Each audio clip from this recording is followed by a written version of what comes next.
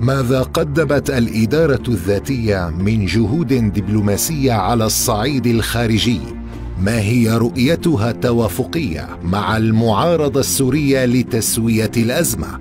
وكيف يمكن للسوريين الجلوس على طاولة واحدة لتقرير مصيرهم بأنفسهم؟ أسئلة نطرحها على الدكتور عبد الكريم عمر. الرئيس المشترك لدائرة العلاقات الخارجية في الإدارة الذاتية لشمال وشرق سوريا في حلقة هذا الأسبوع من برنامج نبض الشمال. يأتيكم في الأوقات التالية على قناة اليوم.